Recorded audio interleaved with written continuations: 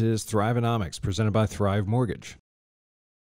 Hey, folks, welcome back to another episode of Thrivenomics. I'm sitting here in studio with Donielle Geiser, uh, Thrive's Vice President of Operations. And I'm thrilled about today's episode because now, today, we actually, I mean, we don't do this a lot, but now we actually get to talk about Thrive and what makes Thrive Mortgage so special. So, um, we're just going to get into a lot of topics of, of kind of what differentiates us from other lenders in the industry and kind of how we go about making sure that our clients uh, have a legendary lending experience is the way we like to put it because um, we know that that this is uh, this is not just a transaction. This is we know that these consumers that we're that we're working with that they are incurring what is more than likely the largest single debt that they will incur at any one time in their lifetime. I mean, they might move up and they incur an even larger debt, but it's our job to help them professionally manage that debt, not just for this transaction, but for the life of that that loan, and help them uh, understand that there are smart ways of doing things and not so smart ways of, of doing things when it comes to mortgage financing. But we'll get to that in just a second. Joining me, uh, running the uh, the podcast producer. Uh, responsibilities up in our Dallas studios, Raul Espinoza. What's hey, up, Raul? How's it going, guys? Hey, it's going great. Good. So you're you're going to get. Uh, I, I want to hear questions from you, Raul, because okay. we now have the person with the answers. I mean, I can answer a lot of stuff pretty intelligently. Yeah. But you really want to get into the nitty gritty of what it takes to buy buy a home. Oh God. She's sitting okay. right next to me. So when you've got questions about the the just the process, yeah. what the hoops you're going to have to jump through, because I know we've uh, we've had those questions come up uh, in oh, the yeah. past, but. Uh, uh, anytime you you are ready to chime in with those first time homebuyer questions. Okay. Uh, sp- speak up. Okay. Absolutely. I will. Yeah. When you see me uh, slide in from the bottom corner, that means I yep. have a question. all right. I'll, uh, all right. Sweet. That's sweet. I'll, uh, I'll I'll tee you up with that one. All right. Cool. But all right, awesome. Well, Donielle, welcome to Thrivenomics. Thank you. Excited uh, to be here. I was about to say, I mean, this uh, th- this is something that's uh, that's really kind of outside your comfort zone, isn't it? Hundred percent. Yes, I'm normally behind the computer screen, you know, making the calls, right. watching the pipelines. But yes, no, this is it's entertaining. I like to grow and stretch, and this is go. doing for me today. Thanks. Well, glad glad we could be a part of your professional development. Yeah. So, uh, so welcome welcome to the show. Thank well, um, let's kind of get into into your background. Um, I know you and I kind of had similar upbringings growing up in the Dallas area, yeah. and uh, and then going off to college and then what was it that first got you into the financial services industry because most people don't go to college thinking, you know what, I want to be a mortgage loan originator. True, very true. And I feel like, you know, that's kind of the consistent message and, and story across mm-hmm. our industry, right? As everybody just kind of falls into mortgages and then mm-hmm. nobody ever falls out of it. Because once right. you get into it, you're hooked. Sucks you in. Absolutely. Um, no, I was actually an economics major at SMU. Okay. So I, you know, had a little bit of that background. Um, but truly it was it was a trip out to see one of my college friends. Uh-huh. Um, you know, out in California in LA and fell in love with LA and realized, well, I gotta find a job. Yeah. So quickly, quickly, if yes, you want to live there. Exactly. So I was there for about two weeks before I finally started interviewing okay. and actually got a job as a personal banker at Bank of America and started truly sitting in a banking center in the west side of, you know, Los Angeles mm-hmm. and opening up bank accounts and would, you know, just kind of worked my way up through mm-hmm. that whole structure and was banking center manager you know pulling 16 hour days six seven days a week sometimes banker hours definitely do not exist anymore no. no. no. my my dad was a banker growing up so he always had the 10 to 2 mm-hmm. hours but of course um yeah, it doesn't exist anymore. No. And so, anyway, but my loan officer that was assigned to our banking center, I would see her kind of waltz in at about 10 o'clock. She'd take some people out to lunch and then she would leave about 2 30, 3 o'clock and, you know, work from home mm-hmm. after that and, and would have, you know, really fun open houses that she would sponsor with her realtor partners on the mm-hmm. weekends and different events. And I really just found myself looking like, why am I sitting here in this suit for 16 hours a day. I, I need that job. I need that job. Right. So she pulled me into mortgages, uh-huh. um, you know, and, and, as a loan officer with B of A. And that was uh, 2005, 2006, and then 2008 happened. Right. Market crash. Right. And um, that was a, a, super fun learning experience. Yes. Um, As it was for for a whole bunch of people. Oh man. So that that actually is what pushed me over into the operation side. Mhm. Um, so I, I knew I needed to take a step back. I Right. knew the money wasn't just flowing in as easily and and really needed to kind of master my craft. Yeah. At that point in time. And um realized that knowing the operation side, knowing truly how to structure a file, how to get it through the loan manufacturing process, uh, was only going to make me better Mhm. at, at being able to speak intelligently to first time home buyers, answer all those questions. Mhm. And so I did. I jumped into the ops side, Mhm. um, truly working with a couple of different loan officers, learning how to process loans, learning how to, you know, really put it all together, review financials, and recommend products. And I never went back to the LO side. I, that, that's understandable. It's it's not it's not for everybody, but I, I can tell you this, and you can attest to this that that uh, that model that Mhm. uh, that you saw in that coworker, the loan Mm-hmm. officer at uh, uh, at your first bank, um, that is not no, the mm, uh, typical activities of today's loan officer. no, not at all. Not by a mile. Not at all. And you know, and that was when I finally got to the point where I felt comfortable hmm putting together a loan package. I realized, okay, the good loan officers, the ones that are actually helping people, the ones that are Right. actually making a decent living doing this and Mhm. have referral part. It's a 24/7 job. Yep. Absolutely. I mean, there's no time off. There's no vacation because if you miss a phone call, you miss helping a family. Sure. You miss you miss making that connection, that new referral partner. Yeah. And not that I didn't want to work that hard, but Mhm. I didn't want to sell myself that hard. And and that was just not really my personality. And so I really enjoyed being on the other side of it, kind of putting all the puzzle pieces together Mhm. and um, just really never went back and just absolutely love this side of the business. Nice. Truly. So yeah. So I have a question. Yes. Raul. Hold on. Oh, sorry. Sorry, I'm I'm pausing now so that you ha- have the the clear uh, clear mark of, of where to cut. I'm gonna I need to step up and and shut the door to the studio. There's uh, folks outside. People out there. Okay, talking. cool. Hang on. Okay.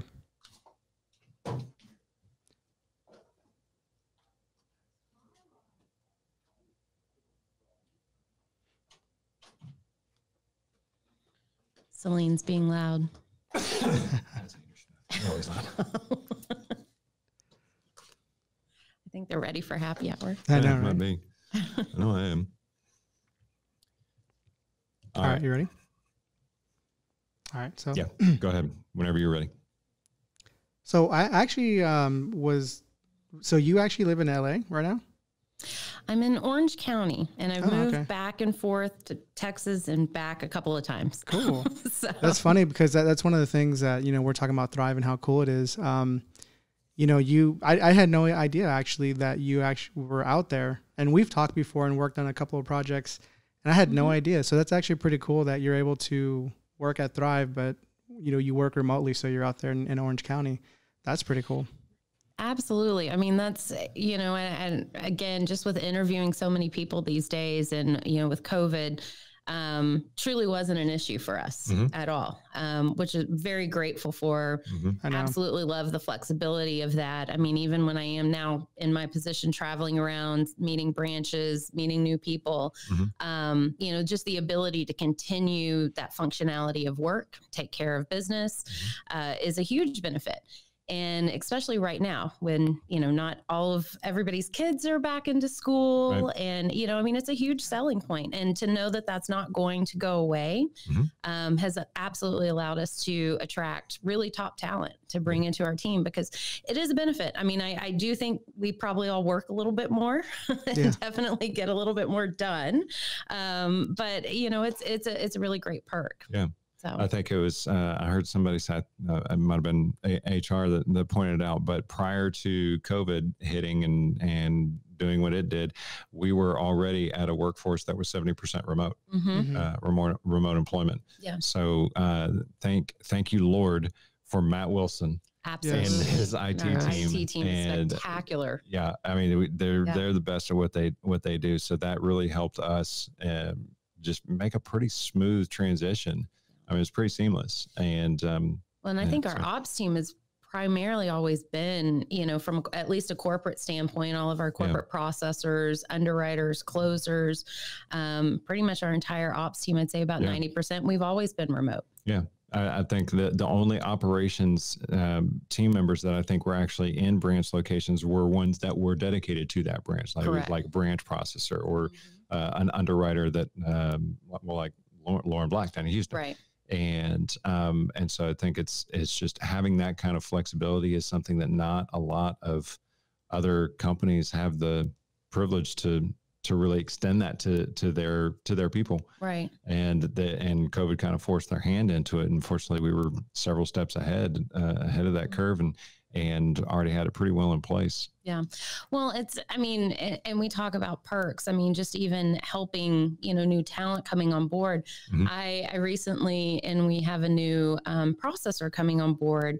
She's a military wife. nice and she's been in the business for a really long time but when you Mhm. look at her resume it looks like she job hops. And so i was talking to her about that and she's like well you know my husband's active military. We have to move. And unfortunately typically the only jobs i can get in the mortgage industry are in branches in Mhm. banks in offices and every time he gets restationed or redeployed hmm we have to move and i have to quit my job mm and so initially, you know, she's like, I just don't think I can do this. I've got to find a whole new field. And I'm like, wait, wait, wait, wait, wait. No, let's talk about this. slowly roll Yeah, we're we're remote. You don't you can take your laptop yeah wherever you need to go and you can actually build a career home here. Right. And um, you know, just I mean, even her I I even got to talk with her husband. They were just beyond Nice. excited that, you know, she felt like she was going to get to contribute to the family and, you know, have a stable position and build a career and be fulfilled. And so, you know, I mean, it, it, is more than just being remote and being Mhm. able to travel or being able to go see family, you know, and not have to take time off of work. But Right. it's,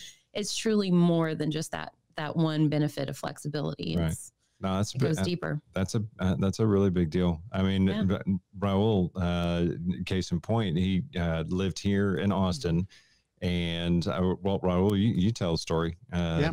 Yeah, so I was You there in did. Austin. I, actually, I was in LA um, for the prior ten years before I moved to Austin, and Okay. then uh, I moved to Austin because I heard you know just a lot a lot of people are going there. And I, g- when I was living in Texas before LA, it's kind of confusing. Um, but so I used to Have live the in same story. yeah. I'm originally from Michigan, and then we moved to Texas, and then from there I've moved like uh, to Mexico for a bit, and then that's where I met my wife, and then after that we moved to Los Angeles, and we ra- we raised our daughter there, and then we recently came back to Austin instead of Dallas, and then um, just realized that you know I think um, certain things that we liked we were in Dallas, so we came back to Dallas finally. Mhm. Um, but that was one of the things I was telling James, you know, when I was making that decision, like I didn't know if we were going to go back to Los Angeles or go come back to Dallas because uh, my daughter was really missing Los Angeles. Mhm. So we decided to Dallas because we eventually want to get a house. And so, Right.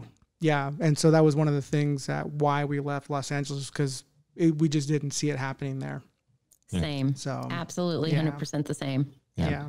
So it was pretty funny because when I we came back when I got to Austin, um, this was the first job I got when I came back to Texas, and so it's funny because I've been here ever since, and the whole like buying a house thing and work all kind of worked out, you know. Like uh, Mhm. now I'm like in mortgages, and I knew nothing about mortgages at all before I came back, so it was pretty funny.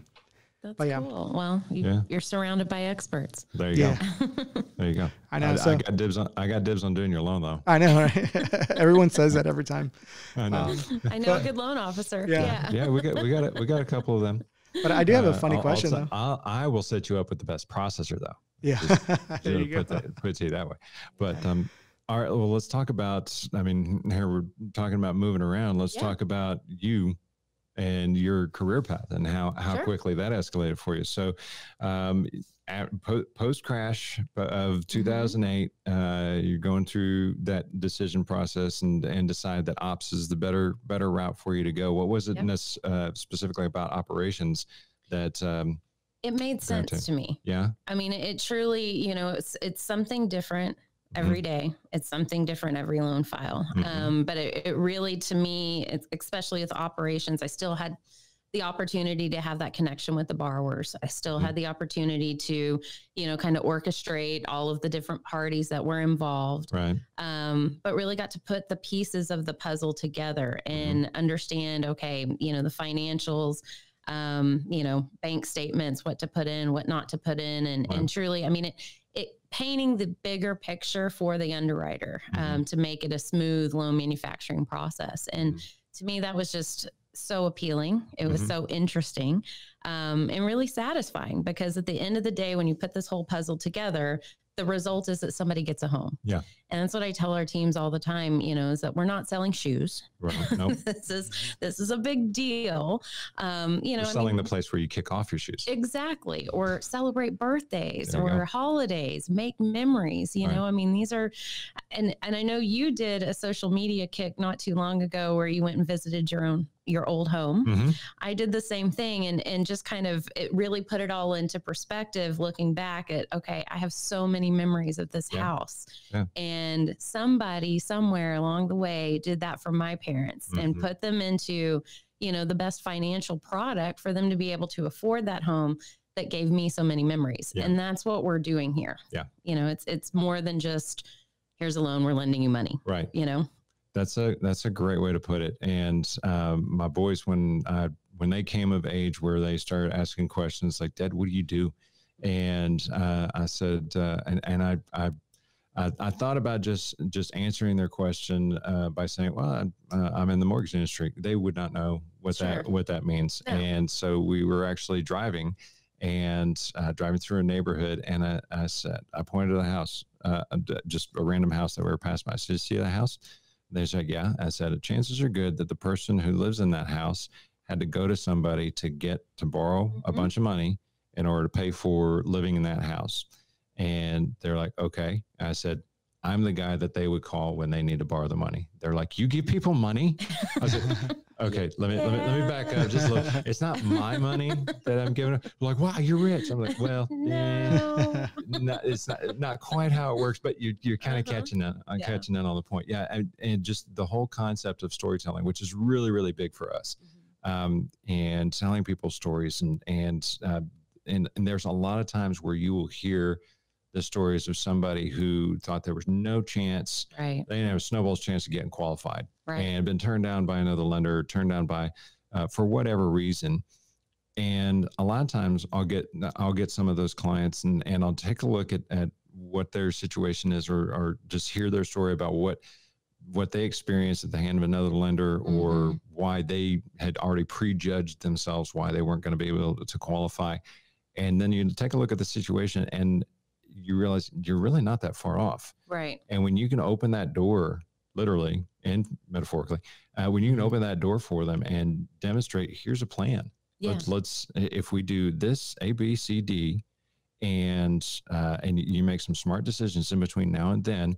Let's let's work on this for a couple months, and then we'll start the application, and then boom, Yeah. go shop for a home, find find something that you thought you'd never be able to to get into. Yeah. It's I mean, it's life changing Mhm. for a lot of people. It really You know, is. It is. And and I will say my story is a lot like Raul. I mean, we we did yes, my husband got promoted, but it was a very strategic plan. Sure. You know, we knew and and by looking with all of my experience and putting loans together, you know, by looking at our financials and saying, Mhm. okay, we we can't afford a home Right. here in Los Angeles. It's just not in the cards. Right. Um, and so, you know, we strategically, he worked through his channels and employment and made Mhm. a move to Houston, Mhm. um, which is how I ended up at Thrive. Celine found me, I think I was here a week and a half Mhm. before she had me on the books with an interview. Nice. Um, you know, there in Houston, and she she tells the story of she drove down at like 5 a.m. in the morning to meet me at 9 a.m. You know, all Uh-huh. this all this stuff, and so um, thankful, so thankful she found me, and you know, however we got put together, it was definitely meant to be. But Mhm. um, you know, that was that was our that was our goal when we Mhm. moved back to Texas was you know truly to buy a home. Mhm. Um, that was a box we wanted to check, Mhm. and we've been able to take that and just continue to grow that. And I, I've seen so many other people do that. You know, Denise Donahue is the expert at that. Yeah. She has helped. I can't even imagine how many families you Thousands. know go from just a little starter home to Mhm. being able to actually afford.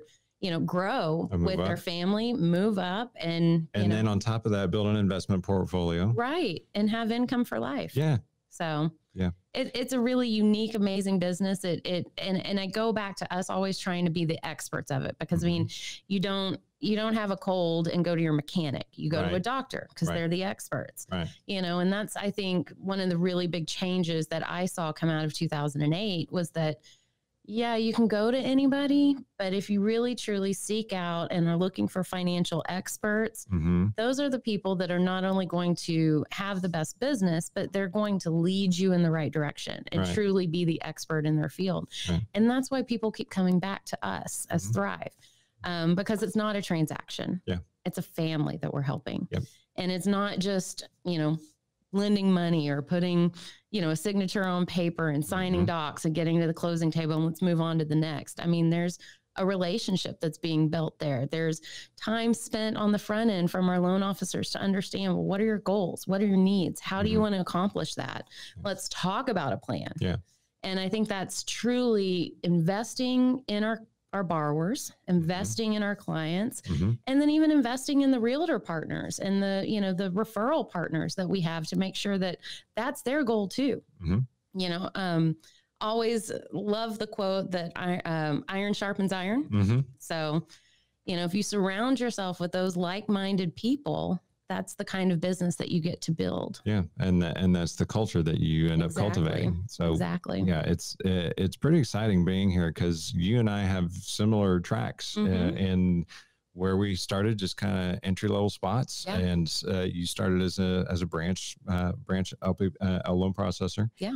And then just steadily worked your way up. Now you're the vice president of, for overall of operations of a multi-billion dollar company. yes And uh, I mean, I kind of the similar similar track. I started uh, started off as a trainer, and then just steadily through working hard and and capitalizing on opportunities when given, just steadily worked up. Now I'm running the marketing team. Yeah. And so this is a this is a culture where you are only limited by how big your dreams are. absolutely And so let's talk a little bit further about um, about just just the process, more more of the nuts and bolts of, of what you're responsible for uh, for managing on a daily basis.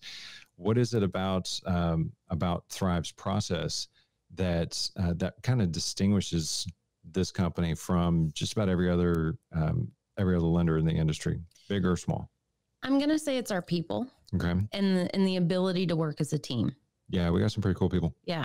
And I think that that, I mean, that to me, from coming from, you know, the big banks of the world, the, Mm, the big corporate banks, even looking at some of the smaller, you know, independent boutique lenders, um, truly being able to bridge that gap. It's not sales against ops. mhm, Um, it's not processors against underwriters, Mhm. you know, but it's truly looking holistically at the loan manufacturing process mhm. and how do we get from point A to point B to point C together? Right. And you know, just being able to attract in the level of talent that we have, um, and not just talent. I mean, yes, we've got some amazingly skilled people at every single one of their positions that we have within Thrive, Mhm. but it's truly about bringing on the right type of person the person that understands our culture that wants to be a part of our culture that you know we're we're helping families Right. um, you know, especially in this year where capacity was an issue. I mean, volume skyrocketed just out of nowhere. Mhm. Um, you know, everybody was grasping at people. Mhm. And I know, I mean, I, I saw it in the years that I was at B of A where it was like clockwork. You knew seats were just going to be filled. Nobody was Mhm. going to be trained. There was no culture. Mhm. And, you know, the October, everybody's going to be laid off Right. We did not want to take that approach No. and that's that's not our culture we take care of our people we're very much a family Mhm. and we wanted people that were going to come in and not only elevate us, our current existing employees, in terms of talent and culture and drive, Mhm. but people that wanted to come in and grow and stretch with the company Mhm. and and reach that next level, that ambition, that drive, that passion Yeah. to help people. And so, Humble, hungry, and smart. exactly, exactly. Thank you. Ever heard that before? No, I, I no idea. Right. New term. That's kind of, kind of, kind of, it's kind of, kind of a mantra. That's definitely been a, a, a mantra for us uh, Mhm. in in 2020. Um, and uh, one of the things that that um, it's probably not news to any of our regular listeners or to anybody that, that pays attention. I, I mean, even just a, a scintilla of, a, of an amount pays attention to what's going on in real estate right now. But um, I'm I'm a big as a former English teacher. I'm big on analogies and metaphors. Sure. And I heard uh, somebody uh, just in conversation heard somebody describe the uh, real estate industry this way. Like, have you ever been to Disney World or Mhm. Disneyland? Yes. Okay. Imagine this, folks. Imagine that you have chosen to go to Disney World on a holiday weekend and everybody has a 75% off coupon. Oh no. How crowded do you think it's going to be? Everybody and their dog's going to be there. Everybody and their dogs are going to be, Uh-huh. and you're not going to yell at Mickey Nope. when the line to Space Mountain is taking 45 minutes to an hour, are you? No. I mean, it, that's what it's like being in the real estate industry right, Right. now. It is a holiday weekend at Disney World, and everybody has a 75% off coupon. That's a great analogy. And so, and so that's uh, and that is the that is kind of the bandwidth or the capacity problem that a lot of lenders and a lot of banks are facing right now. Some are handling it better than others. right. Um, I'd like. Uh, I'll go ahead and say that Thrive, I think, is one one of the ones that's handling it better than others, Absolutely. and it's largely due to folks in, uh, that are in management and making uh, that have control, like yourself, that have control over that process. So w- let's, without getting too detailed about Sure. uh, about like um, turn times and stuff like that. What gen- let's go through a description, generally speaking, of what the steps are uh, involved in going from application to the closing table for like just for a purchase. Yeah. I mean, I think, you know, once we have that purchase contract, it's kind of go time, Right. right? I mean, it's, we've got to get all of our order out. So Right. ordering the appraisal, getting title work in, Mhm. um, flood cert, you know, kind of doing all of our due diligence, our clerical work, if you will, Mhm. up front, getting all that order. Because I mean, just as much as you go online and you order a T-shirt or something, you you you have to wait for it to come. Exactly. It doesn't just instantly pop in.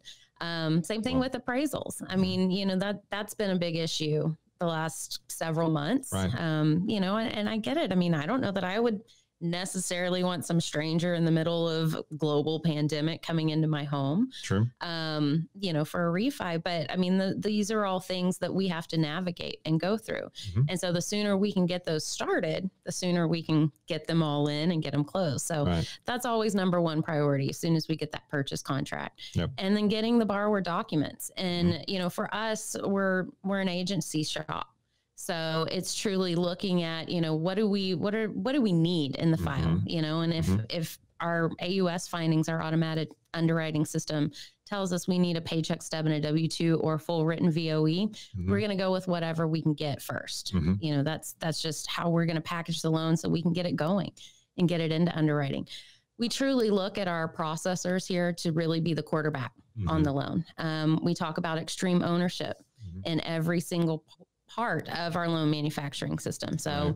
that file, that borrower, that home, that's on Mhm. you Right. you know own it make sure it gets there take extreme ownership to solve problems identify any red flags Mhm. be proactive not Mhm. in only communication but in resolution Mhm. You know don't let it get to hair on fire if you can that's you know i mean things do come up always but you know the more we can be proactive and Right. see those things especially as the expert Mhm. looking at it um, the easier it's just going to be to navigate down the road That that's such a critical piece, and and you're spot on about uh, when you em- empower the folks to make decisions that are going to be in the best interest of the consumer, then everybody wins. Not just not just the client. The client especially is going to win, but when every person who touches a loan file through the throughout the process is empowered Yeah. to make a decision based on knowledge based on the knowledge that they have of what guidelines state we can do based on being able to in those certain situations where all right there's not a specific guideline that addresses this Mhm. specific scenario but and then you, you fall back to okay number one what's the best course of action for Right. the client and more often than not that's going to result in undoing whatever logjam it is and keeping everything moving right on down down the line instead of saying well i'm sorry i need to go through five different levels of management before i can get an exception to this No. And, and in this day and age, you can't. Mm-mm. I mean, if there's an issue or a problem, you probably needed it resolved three days before, you know, you got to the point that you're at now Correct. asking for help. correct Um, and so you just, you can't, you know, w- we've eliminated a lot of that red tape, but I Mhm. think, you know, our underwriters that that's in the loan manufacturing process, we have the best group of underwriters I've ever had the privilege of working i with I would agree um, not only do they communicate so we we Mhm. don't keep them chained up in the basement Nope. anywhere Nope. we do allow them to pick up the phone and and actually talk to people um, you know i know that was that was the thing i've run into in my former lending lives is Mhm. that the conditional approval would come out and you'd look at it and you're like what is this what i don't understand what i need Mhm. And you just had to guess Yeah. and then there was a lot of back and forth which wastes a lot of time Mhm. um, but you know, here at Thrive, you can pick up the phone, you can send them a Teams message, you can shoot them an email, and they're Mhm. going to respond quickly. Mhm. And that's what's so cool too about Thrive is that everybody working together as a team, working towards the same goal Mhm. to close that loan to get that borrower in the home.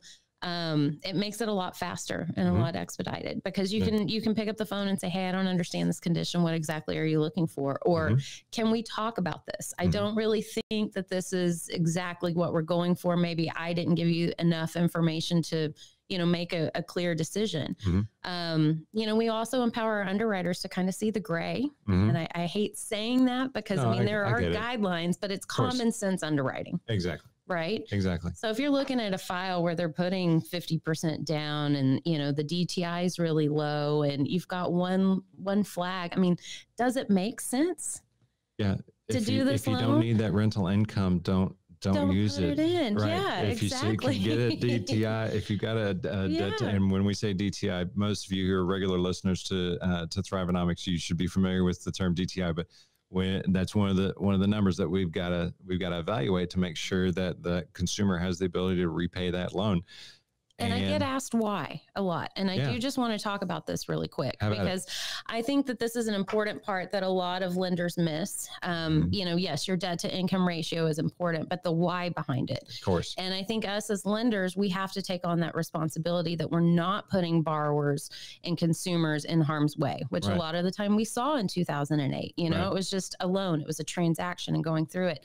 But it's truly on us as lenders to encourage and put people in responsible lending products where they're Mm-hmm. not in two years down the road going to be only eating ramen living out of their car right? you know that's we have to own that we have to absolutely accept that responsibility and Mhm. make sure that yes the guidelines are there for a reason but does this Mhm. make sense Yeah. to this particular borrower I had a, f- a first-time borrower couple closed. Um, we closed their loan uh, just a couple months ago, and the both the very young mid twenties, both of them uh, got really solid degrees, so they've got really good jobs right Mhm. now. So plenty of income, um, and they've been very very responsible Mhm. uh, in starting off their life. Very little debt. They have like between the two of them, one car payment. I think he was driving an old car that had Sure. since been paid off. Might have even been his car in high school but anyway, very, very responsible with their finances, z- uh, almost no debt, great income, and they were buying their first home Mhm. and they're very, very excited about it. And so when I was running the numbers on getting them pre qualified, they could have qualified for a $450,000 house. sure Do you think for one second that I said, hey, go shop for a $450,000 house? no Absolutely not no. because they would have gone from a twelve hundred dollar rent rent payment Yeah. up to about a thirty two hundred dollar mortgage payment, and Call that, that house poor that you could very house poor. I mean, could they have afforded it? Absolutely, they could have afforded it. yeah But there's no way that I'm going to saddle a young couple in their mid twenties. Number one, there was it would have been way too much house for them. Uh, they, they this is something where you want to help them kind of ease into it. So instead, what my recommendation to them was was go shop for something that's two 225 250 Mhm. smaller house maybe 16 1800 square feet. And yes you can get that that big a house in texas for 225 250 you can. Um, sorry california. No you can't. It's not going to happen.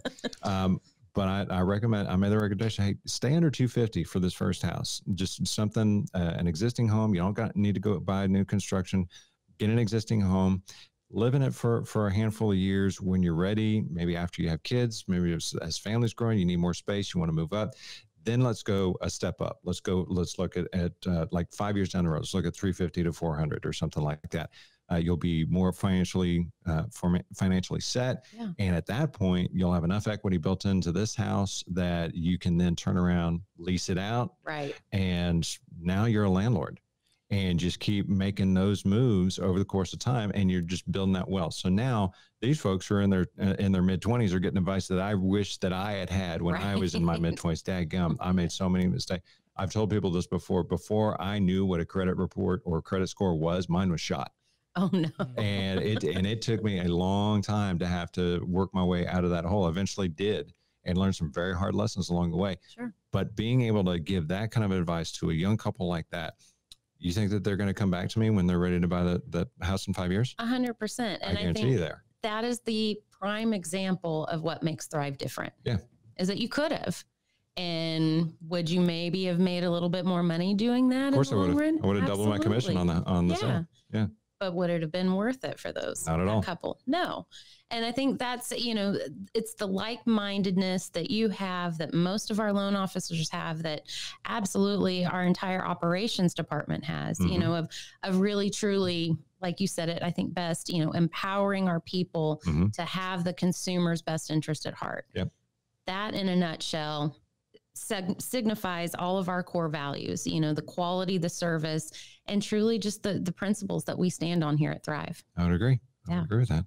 Well, what, what's your favorite thing about being the in the position that you're you're in right now? We talked about what kind of pulled you towards uh, operation. I bet if I had uh, like a jigsaw puzzle mm-hmm. box on the box and I yes. dumped out the pieces, you just start I going to work. Start going to work, absolutely. yeah. So what, what uh, other than just that component of being on the operations side, and, and, of course the people. I mean, we could talk about Thrive people oh, all day long. I, There's so many great I'm ones obviously here. very passionate yes, about you are, it. which is which is one of the yeah. one of the things that sets you apart and makes you such a great manager and such a great uh, head Thank of you. that that that part of our organization is there anything else that you would point to that say that says this is really what energizes me, what fires me up?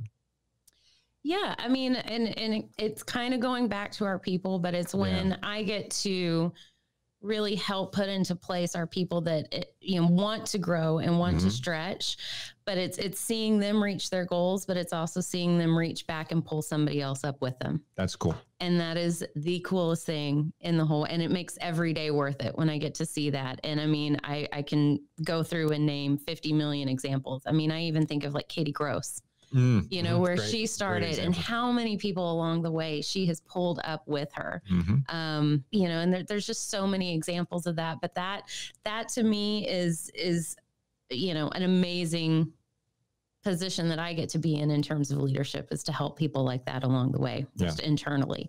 Um, cool. But I think, you know, with Thrive from just even a leadership position, you know, being able, yes, having a seat at the table, but being mm. able to really have the freedom um, you know, to to be imperfect, mm-hmm. um, to continue to pivot and change our strategy. Mm-hmm. Uh, I've definitely worked for lots of companies where they set the strategy and this is what we're doing, come hell or high water. We're not changing. This is going to work. It looks good on paper. We're moving forward. Doesn't um, matter how good the idea is. That's not the way we do things here. No. Right. Yeah, I mean it's it's you know, and and I, I think we've seen that especially this year. We've seen oh, yeah. that a lot. Yeah, you know, where absolutely. we've had to change strategy mid mid week, sometimes mid execution. yes, absolutely. Yeah. You know, and I mean, I think about you know when we were getting all of the overlays for COVID, and yeah. it felt like every five minutes we were having to change and push Some, communication. And to me, being able to effectively and transparently push communication mm-hmm. out. Um, you know, that that comes from Roy, the top down, Roy mm-hmm. and Barbara leading by example. And, you know, I mean, some things work, some things don't, but being mm-hmm. able to say, hey, okay, well, you know, that didn't work exactly how we thought it was going to. So we're going to make some changes. Mm-hmm. And this is what we're going to do now. Let us know. Let's get the feedback from the field. Um, you know, we have a sales leadership council. I've mm-hmm. got a mm-hmm. processing leadership council. You know, we go to our frontline experts all the time with new ideas, new thoughts. Um, we have very much an open door policy, especially mm-hmm. in operations.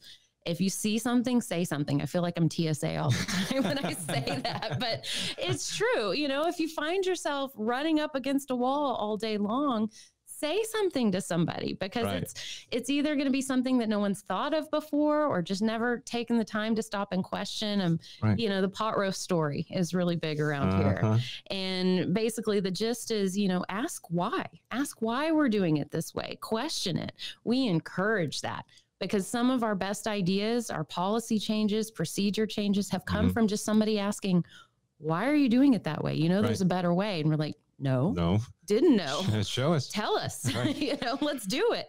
So it's, it's, funny you brought up the pot roast story. That has actually been brought up uh, one other time by some uh, by another guest, but we didn't dive into it. Oh. One of these days, Raul, we need to have Roy on and interview yeah. him Please. and get him to tell the pot roast story. Yes, we do. Uh, that that's absolutely going to be uh, a future future yeah, episode. Do you know do. the pot roast story? I do uh, vaguely. Like I've heard it a couple times, probably yeah. a couple times. Yeah, but I think it's just like the way they cook pot roast, right? Like why exactly. it's been done that way for a long time and no one's ever questioned yep. it. Okay. Exactly. Yeah. yeah it's just a, it, it's just uh, I knew it. it there you go. it's an it's basically a, an analogy or an allegory on um, challenging conventional uh, yeah. wisdom, quote unquote. Exactly, yeah. or the way things have always been done. Right. You know, and and it's, and I mean, I mean, goodness, this year is a perfect example. I mean, the way that we even started this year, how we were doing things, how we were managing the pipeline, right. how we were, you know, closing loans, mm-hmm. even, um, has totally changed. Right. And if we weren't able to be nimble and mm-hmm. flexible enough mm-hmm. and still stuck in that same mentality, mm-hmm. um, we wouldn't be absolutely outperforming the market and our national partners and yeah. peers. Now that none of this is to say that we are perfect and we Correct. get it right 100% of the time because we I mean we're human beings. Absolutely. We, will get we'll get the occasional bad review. Yeah. But one of one of the things that's uh, another thing that that separates us is that we're not going to hide behind those bad reviews or make excuses. We're going to and this is something that I coach the the sales teams all the time.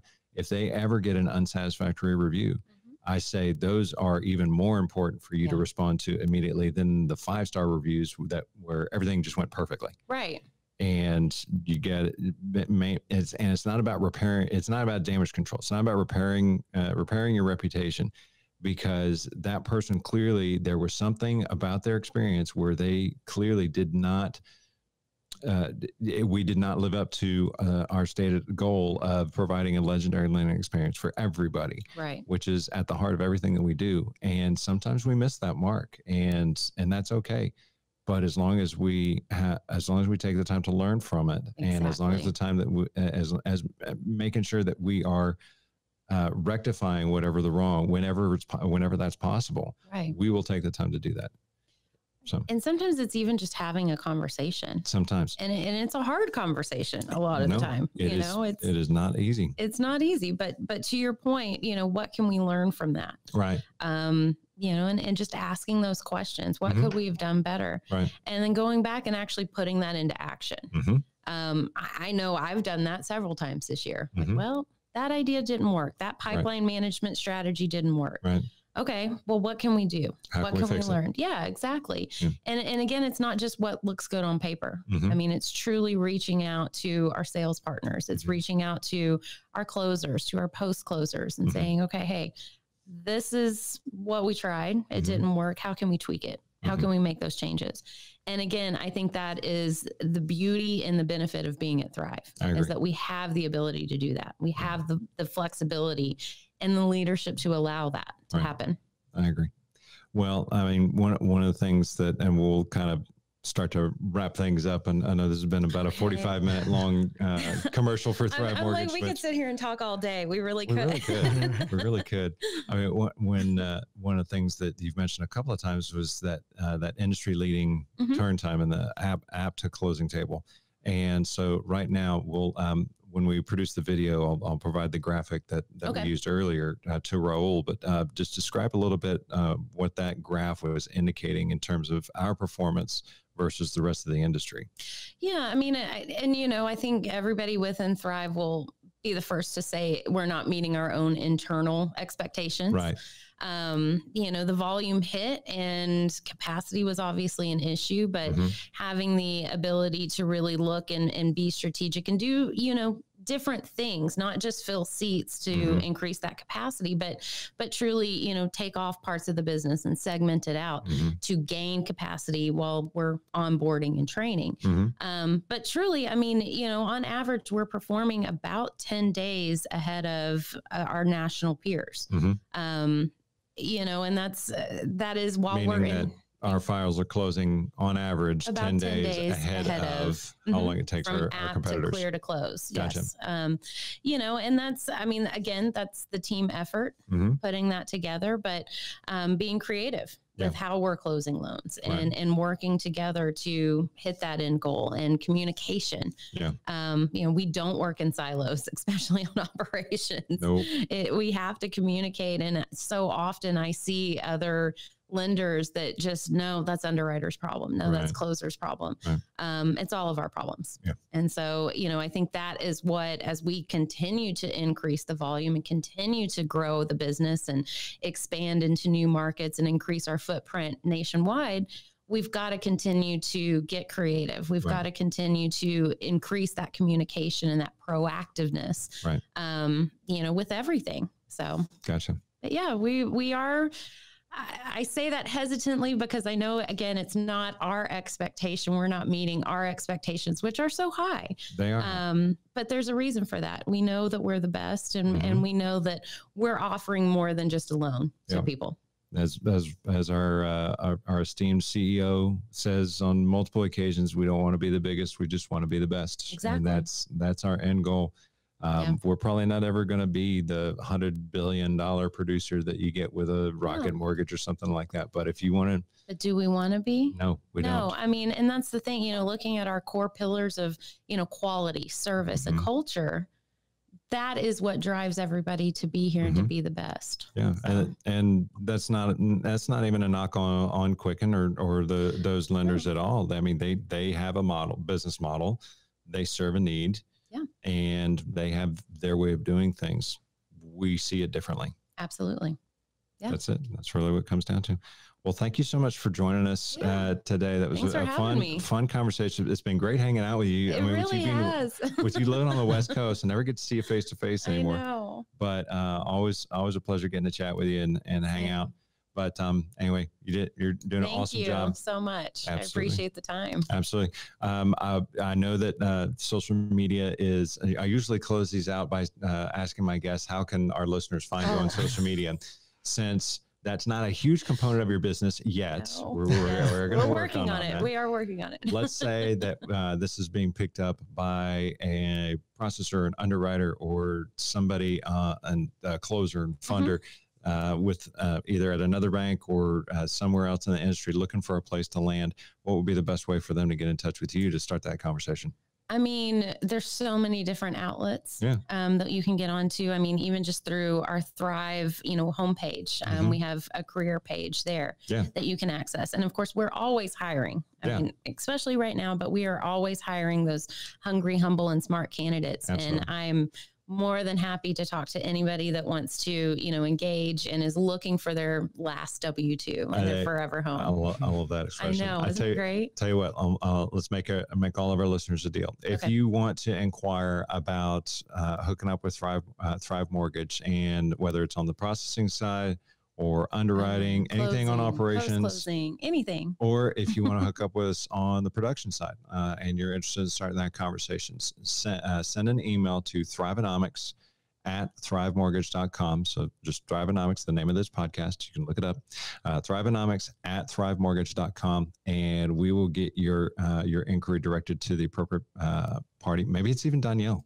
Probably. And, and uh, we'll get your email directed to the appropriate party and get you started on finding your your last W two Yep. that you will ever want to receive uh, in the, the last company that you will ever want to work with. We'll your that way. new career family. Your new career family. Yeah. There you go. Great way to put it. All right. I didn't know that this is going to turn into a recruiting call either. I know.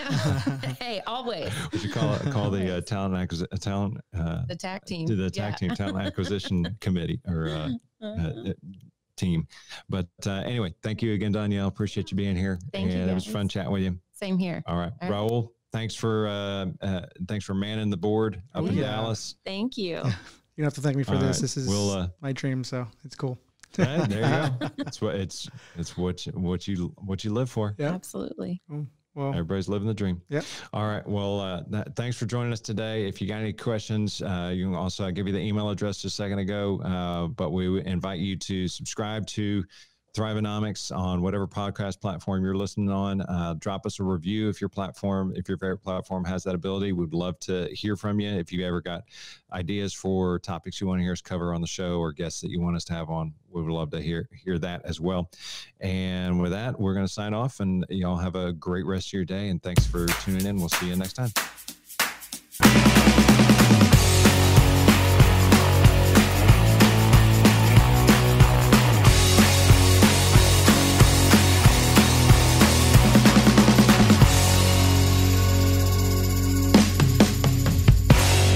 Thank you for listening. We hope you enjoyed today's episode. The title sponsor for Thrivenomics is Thrive Mortgage. Licensed in multiple states across the U.S., Thrive Mortgage employs the best professionals, equipped with leading technology and the most efficient process to deliver a legendary lending experience. For more information about how we can serve you, or to find a local Thrive Mortgage professional in your area, please visit us at thrivemortgage.com. You can also contact us directly via email at thrivenomics at thrivemortgage.com. Thrive Mortgage is an equal housing lender, NMLS ID 268552.